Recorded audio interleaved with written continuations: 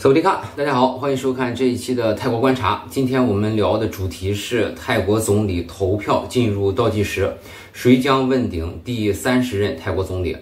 现在曼谷的局势已经很紧张了。昨天，曼谷市长查查宣布，为了符合民主制度，市政府官员将起草一项法令，开放公共言论空间，并将议会大厦旁边曼谷市政府的一个广场开辟为前进党支持者和平集会的区域。这块区域大约可以容纳一万人，配有帐篷和公共厕所。集会期间还会安排医务人员和救护车。从上个周末开始，总理候选人皮塔就开始参加支持者组织的集会，而且一直会延续到本周四，基本上每天都会举行集会，主要就是为了前进党摇旗呐喊，向参议院施加压力。那意思就是我们有人啊，其实参议院呢也有人。保皇阵营如果集结起来的话，队伍也是浩浩荡荡，双方不分伯仲。目前最紧张的是警察，政客之间啊，为了争夺权力，警察招谁惹谁了，是吧？呃，还得加班加点。除了曼谷之外啊，包括周边的巴吞他尼、北榄、春武里、暖武里，甚至连龙仔错的警察都有可能会支援首都啊。这也是过去一贯的做法。场外的情况目前就是四个字啊：严阵以待。场内的情况这两天也有了新的变化哈，主要是两点。第一，选举委员会在周一的讨论中没有对皮塔 ITV 持股案作出表态，两天之后，也就是本周三将宣布 ITV 持股案的下一步进展。现在选委会有三个选择啊，第一个选择是将这个案件提交给宪法院进行审理，这个做法将彻底颠覆目前的局面。皮塔在接受宪法院调查期间将暂停各种职务。那他周四就没办法以议员的身份来参加议会了，但他依然可以凭总理候选人的身份参加议会。那如果真的是这样的话，他的支持者周三就需要去把曼谷市政府准备的那个广场给占领了。呃，第二个选择呢是就此打住，不把这个案件呢提交给宪法院。这样的话，ITV 案就算告一段落了，在没有新证据之前，不能再以这个理由提起调查申请了。嗯，不能想起来就去告人家啊，日子还得过是吧？嗯，第三个选择就是继续拖延，也不提交，也不驳回，继续装睡啊，不出声。这个做法的后果也很严重啊，仅次于第一个选择。因为根据宪法规定，如果明知道候选人没有资格参选，但继续投票给他的话，那投票人有可能受到牵连。这个牵连对个人来说，包括拘留、禁止从政；对政党来说的话，可能会被强制解散。也就是说，如果在周四投票之前对 ITV 持股案没有明确结果的话，很多议员，包括参议员和众议员，很可能会弃权投票。这样的话，那投票选总理这事儿很有可能就会进一步推迟。对泰国经济来说，继续等下去的话，代价太大了。所以本周三选举委员会对 ITV 持股案的态度至关重要。第二个变化是关于潜在的总理候选人。我们在上周日泰国周刊里面说了，目前除了明确的唯一总理候选人皮塔之外，还有八个议员有资格被提名作为总理候选人。当然，前提是皮塔拿不下三百七十六席。至于为什么是这八个人，搞不明白的可以去看一下周日我们的节目啊，已经说得很清楚了。这八个人分别是维泰党的贝东丹、塞塔和蔡加瑟。泰斯豪党的阿努廷、人民国家力量党的巴威、联泰建国党的巴育和皮拉潘，以及民主党的朱林，就在昨天，联泰建国党宣布不会在议会中提名巴育和皮拉潘作为总理候选人，同时也不会投票给试图修改一百一十二条冒犯君主罪的候选人。意思就是我不参选，我也不投票给皮塔。泰斯豪党的党魁阿努廷也表示，第一不会支持组建少数派政府，第二不会支持修改一百一十二条，这是一个非常中立的态度，跟多数派站在一起，但前提是维护君主立宪制。这也基本暗示了泰斯豪党不会提名阿努廷作为总理候选人。那除了这三个人巴育、皮拉潘、阿努廷之外，在皮塔无法获得足够支持的情况下，有资格被提名为总理候选人的只剩下了五个。我们下一步哈可以顺手的再排除一个，那就是民主党的朱琳。民主党在今年大选中惨败，仅获得了二十五个席位。在投票当天，也就是五月十四日的深夜，朱林先生就承认大选失败，并肩负全部责任，辞去了党魁的职务。目前是处于群龙无首的状态。上周日，民主党在曼谷召开会议啊，选举新的党魁，但是由于没有达到法定参会人数，会议被迫取消。现在有传闻称阿皮什有可能会回到泰国重新执掌民主党，但是这个说法啊，并没有得到阿皮什的证实。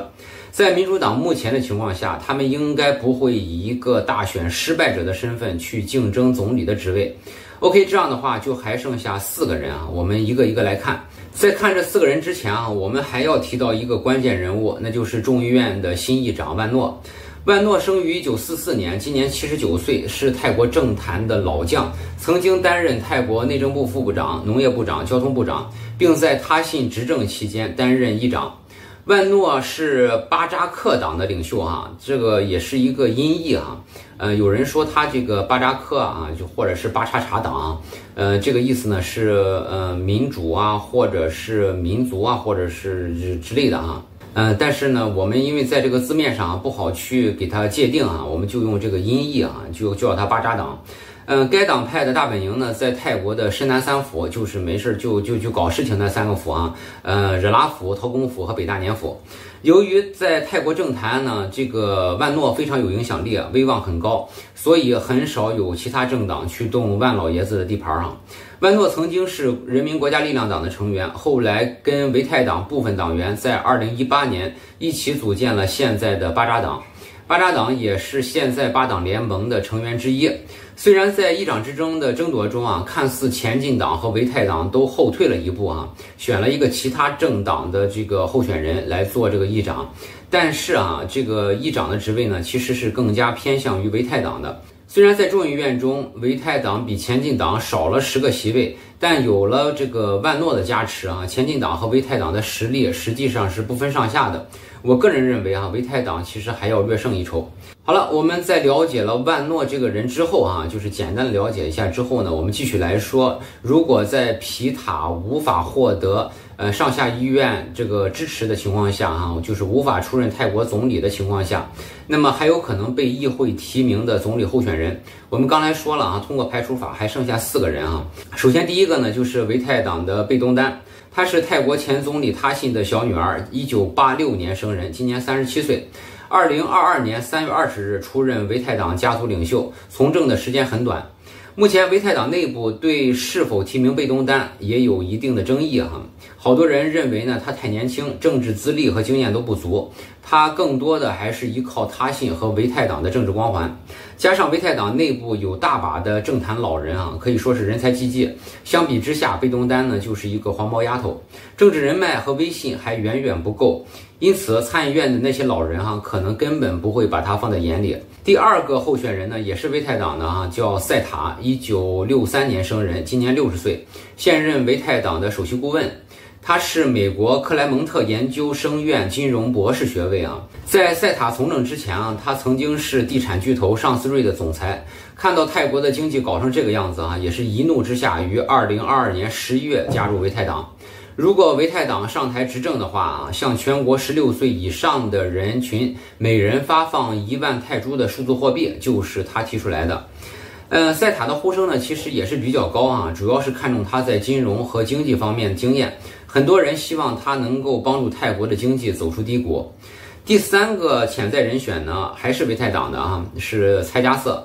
他是一九四八年生人，今年七十五岁，也是泰国政坛的老将。英拉执政的时候呢，他是出任司法部长。由于英拉政府倒台之后啊，全国陷入紧张局势。蔡加瑟曾经作为代理内阁的代表与军方谈判。在二零一四年五月二十二日啊，他宣布代理内阁不会主动辞职，会继续管理国家。就在他说完这话不久啊，当天下午的四点半，巴育将军就发动了军事政变，夺取了政权。蔡加瑟被认为是泰国司法界的一道光芒，可以解决司法中存在的一些问题，但经济方面啊，并不是他的强项。以上三个人都是维泰党的成员，如果提名的话啊，不能一个个的试哈，只能三选一。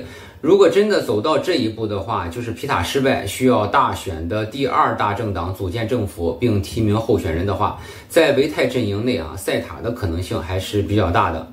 呃，当然除了维泰党之外，还有一个大人物啊，我们一直没提，那就是人民国家力量党的总理候选人巴威。巴威有时候啊叫巴义啊，这个完全是音译的这个这个关系啊，所以有些差别，其实就是一个人。一九四五年生人，今年七十八岁，曾担任泰国皇家陆军总司令和国防部长，现任泰国副总理。去年在巴育接受调查的期间，曾经代理泰国总理一职。他还有两个职务很有意思啊，这个媒体上很少提到。他呢，现在还是泰国旅游协会的主席，而且是泰国国家奥林匹克委员会的主席。我们很难把一个这个国家军界最有影响力的人物和这两个职务联系起来啊。巴威在军中担任要职的这段时期啊，有很大一部分时间是西纳瓦家族执政的时期。不管是他信还是英拉，跟巴威呢都有比较长的时间一起共事。嗯，所以呢，他跟维泰党的关系呢，不能说暧昧吧，但绝对不是死敌。他现在领导的人民国家力量党，其实从前身就是说从组建的时候来看啊，就是很多维泰党分离出来的政客所创建的，呃，其其中的关系哈也是千丝万缕。嗯，有泰国以外的媒体猜测哈，巴威有可能会取代皮塔担任泰国的新总理。但我个人的感觉啊，这个可能性呢也不大，并不是说没有啊，也不大。首先，第一，巴威这个人啊，怎么说呢？他可能比较爱玩啊，不太爱管这个政治事务，而且说话呢比较直接，也曾经多次引起过外交方面的争议。在正面之后呢，他是辅佐巴育将军上台，表明呢他也不想涉及政治太深啊。说实话，巴育将军在军中的影响力以及能在参议院拿到的支持啊，巴威也能轻松拿到。而且巴育拿不到的东西哈，巴威照样还能拿到。呃，如果想谋一任总理的话，他很早之前就可以实现了。第二，巴威是军界的代表人物啊。这次大选中呢，很多选民都明确反对军人参政，特别是在军政府统治了这么久之后啊，呃，他这时候再冒出来，肯定会背黑锅啊，遭到这个选民的反对。这一点呢，他心里也很明白。作为一个聪明人啊，他也绝对不会去当这个出头鸟。第三呢，巴威曾多次公开表示没有担任泰国总理的打算。虽然在大选期间，作为人民国家力量党的唯一候选人哈，呃，他宣布呢已经做好了出任第三十任总理的准备，呃，但这更多呢是为了该党派在大选中争取更多的席位，属于是党派的声音，而不是个人意愿啊。啊，如果你作为这个党派的总理候选人的话，你都公开表示说我不想当总理，那谁还会把这个票投给你啊？如果没有票的话，你就会失去在这个议会中的席位，你的影响力就会降低啊。呃，如果降低人民国家力量党的影响力呢，这一点是巴威不愿看到的。呃，综上所述，巴威在实力上啊是绝对有能力上位，但目前的时机呢对他来说并不合适，他也没有这个意愿哈。而且泰国目前所面临的局面呢也不允许。那泰国目前面临一个什么样的局面呢？就我这样一个门外汉啊，简单的跟大家说一说，当然不一定对哈。呃，或者说肯定不对哈，大家就当看着玩儿哈。简单来说呢，一共有六点。第一，俄罗斯和乌克兰现在的仗还没打完啊，地缘政治动荡呢还是在继续。第二，东盟内部为了缅甸危机哈，也出现了不同的声音。缅甸跟泰国接壤啊，有大量的难民跑到泰国来，在这里吃一阵子喝一阵子，然后泰国政府给他送回去。过一段时间呢，自己又溜达着来了。毕竟他们的边境线啊是靠腿就可以过来的。嗯，一个不稳定的邻国对泰国来说呢是很难处理，不能管又不能不管，管太多了也不行，管太少了呢还是不妥。第三，在全球生产线大迁移的过程中，泰国没有分到肉吃，越南、印尼和印度成为了最大受益国。泰国的经济其实非常依靠外国投资，现在苹果把钱投在越南和印度，虽然在泰国也投了一些钱啊，但主要产品线并没有放在泰国。泰国大量的日本汽车企业将到印尼去建电动汽车生产线，原因很简单啊，印尼有大量的镍矿哈，挖出来就能生产汽车电池，而且印尼还是人口大国，全球排第四，劳动力充足。泰国呢，已经步入了老龄化社会。第四，东西方两个全球最大经济体在互掐，泰国既需要东方制造业提供的商品，也需要西方的技术和资金，别管谁掐谁，泰国都疼。第五，泰国国内经济低迷，新政府如果继续推迟的话，将影响新财年的预算。政府各个主要部门现在都等着预算来安排新一年的工作，没有预算就没有钱，没有钱谁都难受。第六，受厄尔尼诺现象的影响，泰国今年迎来大面积干旱，而且预计明年和后年的旱情会有增无减，这对泰国第二大产业农业和食品加工业来说影响非常大。泰国政府急需出台政策措施来应对气候变化。综上所述哈，泰国目前呢并不是一个非常乐观的局面。别管是谁出任新任总理，都要面对一些崭新的挑战，就是过去在历史经验上没有遇到过这些问题。在总理人选方面呢，我没有具体的态度哈。其实不管谁执政，对于在泰国生活的外国人来说啊，并没有太大的影响。泰国目前还不具备。进行翻天覆地大改革的条件啊，皮塔上任啊，动不了一百一十二条，就不能说民主全面降临。那么皮塔不上，其他人上，前进党在大选中的胜利也不会被抹杀，民主也不会分崩离析。泰国更多的还是将延续过去的老路，在国际社会中呢，争取左右逢源，在内部社会中发展经济。美国智库对泰国未来发展提出了三个观点，我认为还是比较中肯和客观的。第一呢是扎实搞经济，特别提到了“扎实”这个词啊。第二个呢是进行司法改革，第三个是稳步推进军队改革。这里特别提到了稳步啊，就是一点一点的去搞这个军改。就我个人而言哈，首先是希望泰国的社会呢能够稳定，因为泰国现在的情况啊实在是经不起折腾了。第二个呢就是希望能有一个受到泰国人民推崇和爱。